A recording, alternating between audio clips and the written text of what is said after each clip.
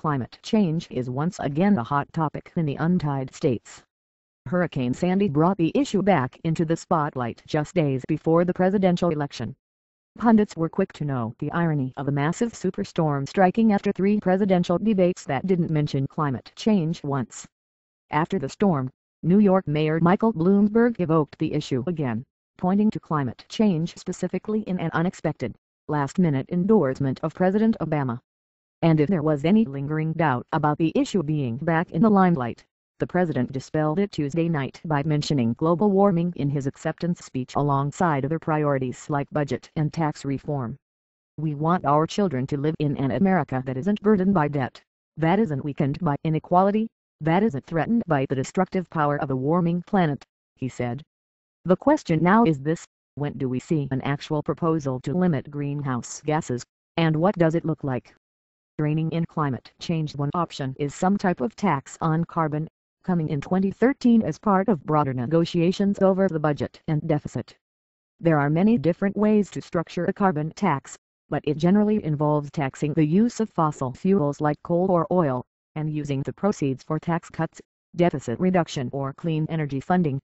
Consumers most likely see it in the form of higher utility bills or, possibly, gasoline prices. Most proposals have some type of mechanism to exempt low-income people from paying it. One proposal studied by the Congressional Budget Office said a carbon tax would raise between $88 billion and $144 billion a year for the government. Related, carbon tax gets unusual support The idea has bipartisan support. Conservatives like it as the money can be used to reduce the deficit or cut other taxes, and liberals like it because it makes cleaner energy like wine and solar more competitive. If we're going to do a grand deal on taxes, the carbon tax will be high on the president's list of priorities, said Dan Clifton, a partner at Strategas, the research firm that serves institutional investors. But it would have to be part of a compromise for Republicans to accept something.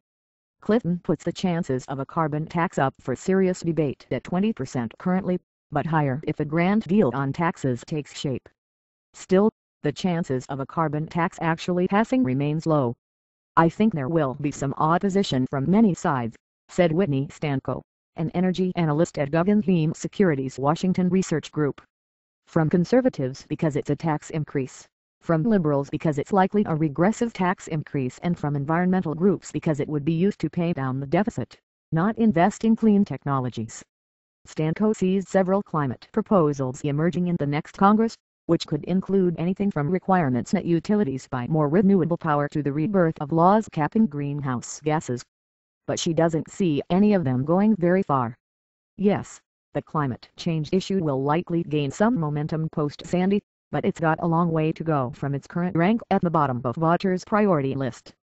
Another way additional climate change rules could become more enshrined in U.S. policy, is the continued tightening of rules from the Environmental Protection Agency combined with actions from other nations that force costs on U.S. companies that aren't operating under some type of mandatory carbon reduction plan. Warming policy is back on the front burner, but we think it has less to do with Superstorm Sandy and more to do with trade pressures on the other side of the Atlantic and pending EPA rules, said Kevin Book, Managing Director of Research at Clearview Energy Partners. A second-term Obama administration sets of progress on both fronts